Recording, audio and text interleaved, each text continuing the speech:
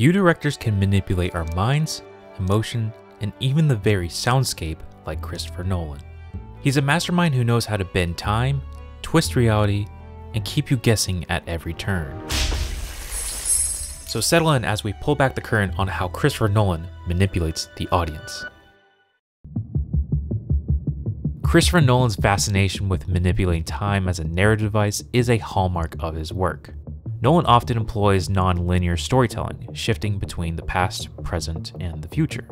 This manipulation of time alters our perception of the narrative, making us active participants in unraveling the story. And will run differently for us? Yeah. Maybe by the time I get back, we, we might even be the same age. Rather than seeing this as a gimmick, Nolan uses this technique in order to control the perspective of which the film is told. To me, structure always comes about as a result of trying to answer the issue of point of view. So Memento was a film told backwards because I want to give the audience the experience of someone who couldn't remember what had just happened. So we invert the chronology and put the audience in that place. This use of nonlinear storytelling perfectly illustrates how Nolan puts us in the shoes of the main character. Best way to draw it is as a hairpin, like that. That's basically the end of the movie. This stuff is the black and white stuff. This is color. And what we do is we cut between the two the whole way through. So we alternate scene here, scene there, scene there, scene there, scene there, scene there, and they meet towards the end of the film. So you lie to yourself to be happy. There's nothing wrong with that. We all do it. Who cares if there's a few little details you'd rather not remember? Through his unreliable memory, we not only witness his confusion, but experience it ourselves. This unique narrative structure forces us to be active participants, just like Leonard himself. There's one thing you should know about me. I specialize in a very specific type of security. Subconscious security. You're talking about dreams? In Inception, Christopher Nolan skillfully manipulates time to capture the audience's attention and reshape how they perceive reality. He does this by creating a complex dream world with multiple layers, where each dream level has its own unique sense of time. These different timelines intertwine at crucial points in the story, adding excitement and drawing the viewers deeper into the narrative. And as these dreams pile up, it becomes increasingly challenging to tell what's real and what's not. Well, dreams, they feel real while we're in them, right? It's only when we wake up that we realize something was actually strange. Dreams are so intimate and small, and yet they have infinite potential. The idea that has always fascinated me about dreams is everything within that dream is created by your own mind as you experience it. I wanted to make a film where the experience of dreaming was addressed in that real way. So even as something extraordinary is happening, you're invested in the, in the reality of that world. Every great magic trick consists of three acts. The first act is called the pledge.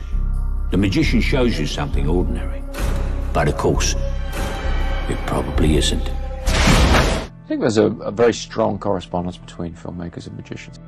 How do you create the sense of magic uh, without just showing magic tricks? Because magic tricks through the camera can be really meaningless uh, because of you know camera tricks, CG, and all the rest, which the audience is very aware of the, that possibility. And so we decided to use the narrative itself, to use the story to create the sense of magic, to create the, the tricks, if you will. Within the intense rivalry between magicians Alfred Borden and Robert Angier, we witness a masterclass in storytelling sleight of hand. And the multiple narrators create ambiguity, making it a challenge for the audience to discern which events are true. This constant shifting of perspectives adds layers of misdirection. This keeps us engaged on the edge of our seats and constantly guessing what comes next. Are you watching closely? It's a movie which really does involve immersion completely as an audience member. You know, you have to stick with it. You have Yeah. to pay attention Oh, yeah. uh, to what is Because all the on. clues are there. And they're there, but the, what I love about it is that in the same way that when I've read the script first, I wanted to read the script straight away again. Yes. Because what you realise by the end of it is not only not only you're watching a movie about magicians and their rivalries, you know, and it's not so much about magic tricks. It's not Yeah. really about showing that, except for this Yeah. one particular one, which causes the rivalry between the two of us. But that the entire movie itself Yeah. is amazing. Yeah. the filmmaker has a very close relationship with the magician in terms of the way in which we're using the, the release of information, the point of view. We use those techniques to, to fool an audience. While misdirection is a powerful tool in Nolan's arsenal, he's equally meticulous when it comes to building immersive worlds in his films. Dunkirk is a prime example of his dedication to historical accuracy and realism.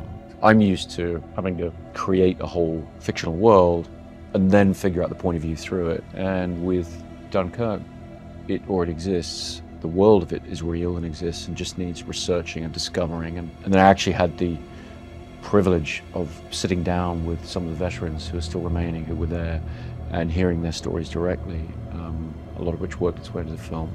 And so in that way, you know, I built up my understanding of, of the world that the movie was taking on, and then was free to sort of create my fictional characters and figure out my path through those events.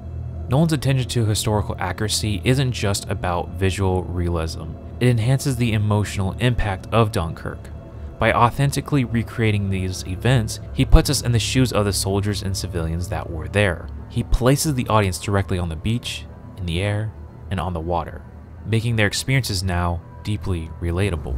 The tension I wanted from this story was that of suspense, because Dunkirk is a great ticking clock story. That's what distinguishes it from just being about a battle or a regular war film. We even hear that clock in the Hans Zimmer Very, yeah, score. pretty, pretty literal about it. tick exactly. yeah, right. It is a ticking clock movie in every sense.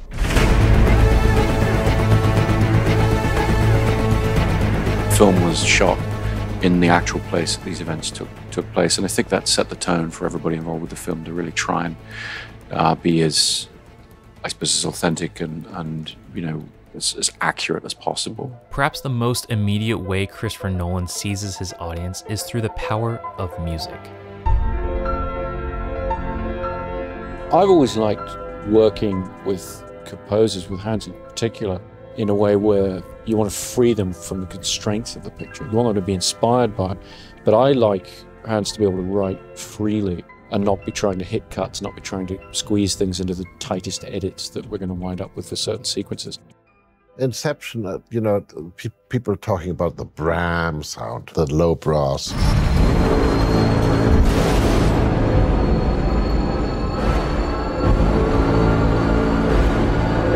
I made the sound, but that means nothing.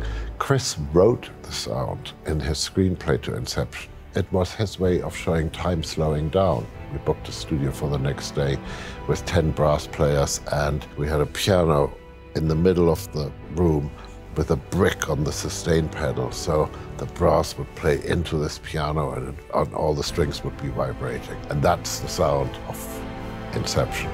Hans Zimmer's music in this film is like a character in itself, mirroring the complex dream within a dream concept. As the dream layers get deeper and deeper, the music intensifies.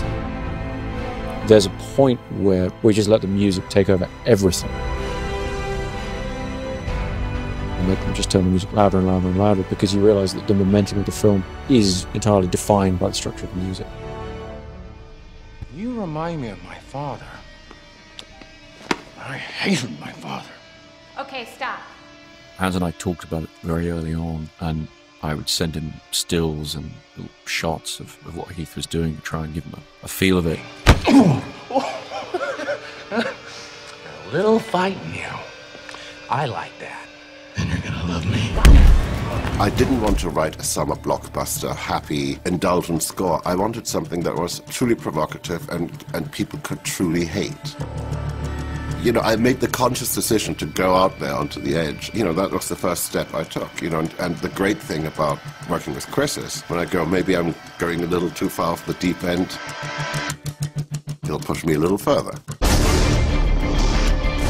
Zimmer's score for the Joker is nothing short of haunting. It encapsulates the essence of chaos and infusing an unsettling layer into the viewer's experience. This music isn't a mere backdrop, it embodies the very essence of the character.